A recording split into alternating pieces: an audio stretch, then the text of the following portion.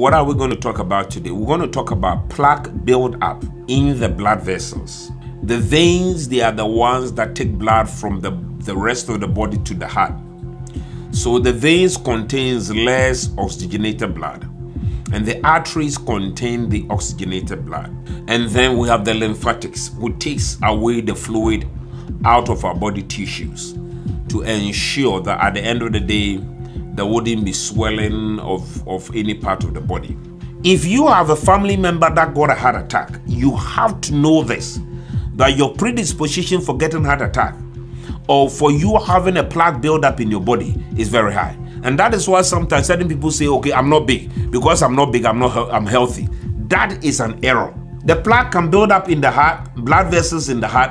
It can build up in virtually any blood vessel in the body. So by addressing one single problem of plaque buildup, you can protect yourself from having a heart attack.